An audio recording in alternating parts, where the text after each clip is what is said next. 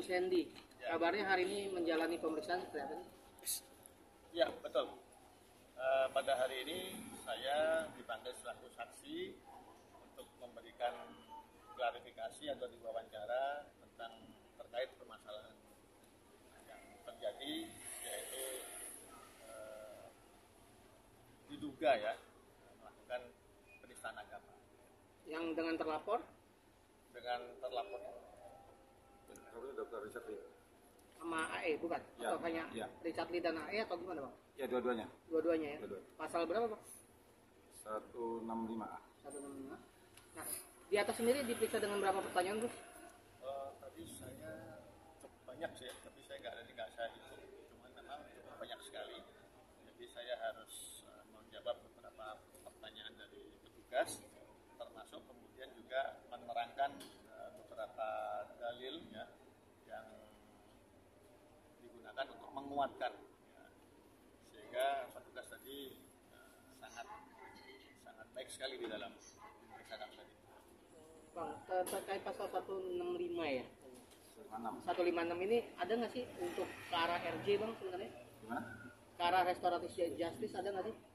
Ya kalau saya melihat dari awal saya melaporkan ya dan melihat juga reaksi dari eh, terlapor ya kelihatannya eh, tertutup eh, kecil kemungkinan ya walaupun kita menghormati memang ada undang-undang memberikan celah untuk itu tapi kelihatannya karena ini juga kan masuk apa namanya terkait dengan sara ya dengan agama kami tetap ada pendirian biarlah ini sampai proses pengadilan biar pengadilan yang membuktikan bahwa ini masuk atau tidak unsurnya Ada bukti tambahan bang ketika tadi Diperiksa? diperiksa bang? Eh, tadi saya tidak ada bukti tambahan, tetapi hanya beberapa yang harus saya sampaikan kepada pemeriksa, yaitu beberapa dalil eh, hukum ya, dalil hukum yang berkaitan dengan penistaan.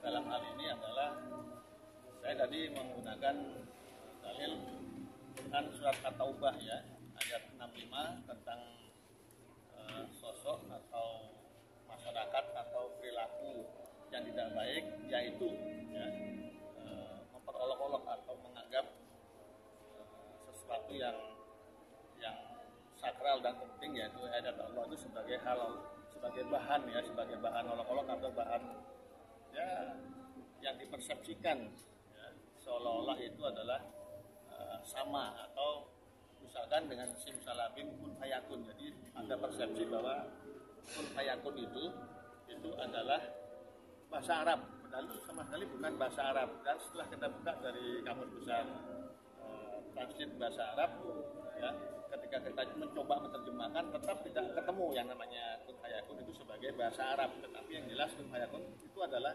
bahasa Allah. Makanya saya tegaskan kepada penyidik kun fayakun itu adalah real ya pure original adalah Al-Quran atau ayat Allah dari Quran surat Yasin ya, yang mana lengkapnya adalah nama amruhu ida arda syai'an an yakula lahu kun fayakun. Sehingga ketika dicoba untuk dicari celah di beberapa kamus ya kan apakah kun fayakun itu bahasa Arab? Ternyata tidak.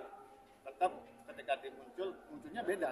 Karena memang kun fayakun bukan bahasa Arab tapi itu bahasa Al-Quran. Tapi dia selalu ngeles bang, tidak menyamakan kun fayakun dengan simsalabim. Itu gimana ya? ya eh, ya. Nah, kalau dia saya rasa begini ya saya juga agak bingung ya kalau seandainya dia apa namanya itu mengelak ya atau membantah. Karena kan saya juga nggak tahu nih apa kita satu keyakinan atau enggak ya. Saya justru bingung. Nah, kalau tadi kan Gus Hendy sudah mengatakan seperti itu. Nah kalau seperti saya mungkin ilmu saya tentang agama mungkin minim lah saya hanya bicara dari sudut pandang apa namanya ini hukum positif KUHP tapi tadi kan Gus Hendy sudah menjelaskan dari sisi agamanya. Eh, kan ibaratnya Gus Hendy juga bukan cuma perkara ini aja kan? Ya perkara Al Zaitun juga termasuk salah satu yang dimintai pendapat. Narasumber. Narasumber narasumber utama malah. Narasumber utama. saya juga tadi sempat melihat eh, Gus Hendy dimintai pendapat tentang Al Zaitun. Artinya menurut saya sudah kapasitasnya lah Gus Endi mengeluarkan pendapat-pendapatnya tentang eh, permasalahan yang simsalabim dengan Fayakun. Jadi artinya saya menyerahkan kepada yang ahlinya. Saya hanya mem- apa, memberikan pendapat terkait dengan keilmuan yang saya miliki. Berarti sampai saat ini belum ada komunikasi langsung bang dari pihak terlapor bang untuk, Iya, untuk klarifikasi atau apa? Memang pada saat saya melaporkan itu memang ada Ustadz Dery kan komunikasi melalui Pak Sunan.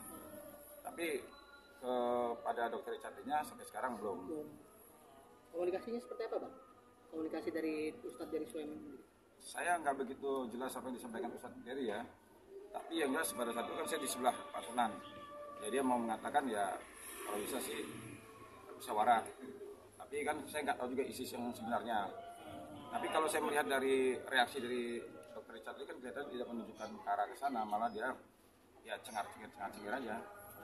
Makanya ini yang menambah eh, makin semangat saya untuk agar perkara ini sampai ke pengadilan. Apalagi sekarang ini kan udah mulai nih ada al zaitun. Jadi makanya di sinilah kalau kita ingin melakukan pencegahan agar jangan sampai hal-hal yang nantinya kita anggap kecil remeh-temeh berdampak yang luar biasa besar. Agenda lanjutannya apa bang? Selanjutnya eh, saya akan mengajukan saksi lagi, satu lagi saksi saksi. Baru berarti ini udah masuk penyelidikan kan ya? Udah masuk, udah masuk. Udah masuk ya? Berarti akan mena- satu saksi lagi dan akan bisa tahap penyidikan atau seperti apa? Ya mudah-mudahan harapan saya bisa ditingkatkan menjadi penyidikan itu harapan saya.